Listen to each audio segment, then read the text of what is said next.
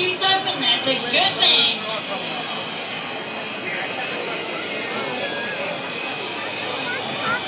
when jumping from in excess of 30,000 feet, our Navy SEALs can, if required, travel more than 75 miles under canopy to reach their target. Navy SEAls and SWCC personnel training extensively in tactical jumping, providing the capability to penetrate For more information about the Navy Parachute Team, please visit our website at leapfrogs.navy.mil. And you can also follow us on Facebook at facebook.com forward slash leapfrogs. Ladies and gentlemen,